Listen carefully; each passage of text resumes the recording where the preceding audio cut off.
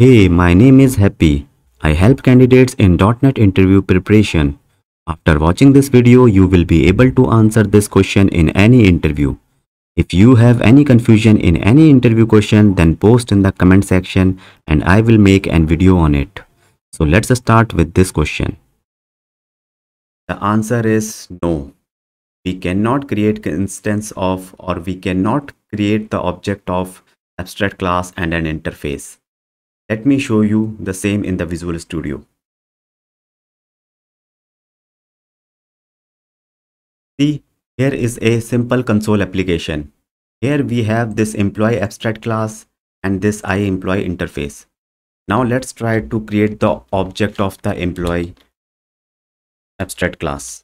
So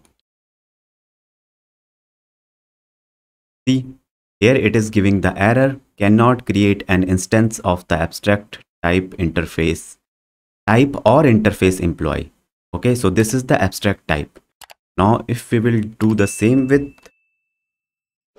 the interface then also it will throw the same error cannot create an instance of the abstract type or abstract interface so that is but there is one thing which can be noted here then why we need the constructor inside the abstract class? When the object creation is not possible then why this constructor is required? That can be a separate question but uh, i will answer this question here. Uh, so suppose this abstract class will be derived in some child class. Now when the object of that child class will be created then this abstract class constructor will be called so both the constructors will be called the abstract class, which is the base class constructor and the derived class constructor.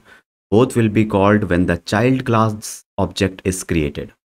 So this is the answer of this uh, question.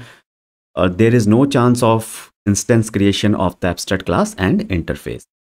If you have any question about or any query, then please post in the comments and I will try to answer it soon.